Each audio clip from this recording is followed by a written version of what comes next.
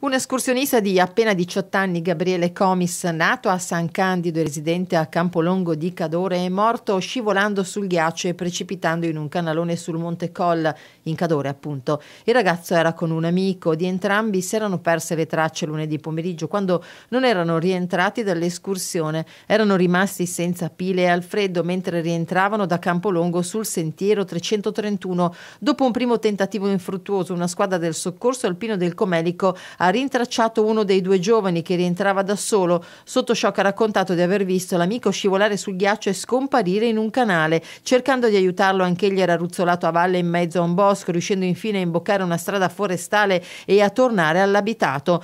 Con il diciottenne deceduto dopo essere precipitato per centinaia di metri è stata recuperata anche la salma del suo cane, morto a sua volta nell'incidente.